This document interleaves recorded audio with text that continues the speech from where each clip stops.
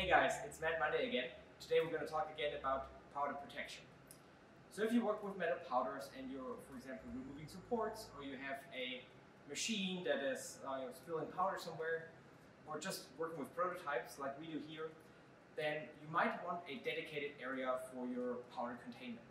And at the door of this uh, powder containment area, you want to use sticky mats. Because even if you keep the room clean and if you try to stay away from the powder, eventually there will be some on the floor, you will walk through it and you will, you know, carry it around in your facility. So to prevent that, you can use sticky mats like those. They are typically used in clean room environments, but you can easily find them on Amazon or other online web shops. And you gotta make sure that you use them correctly. So when you walk out of your area, make sure that you step on them with both feet there are multiple ways to avoid those mats.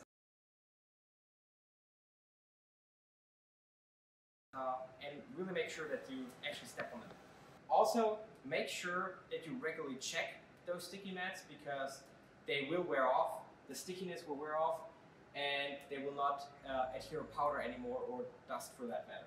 So make sure you regularly change those mats and you can just peel off from one side and another one is right below so that's it for today. I hope this tip was helpful for you guys. As always, if you want to learn more or if you have a specific topic, leave it down in the comments or mail me directly.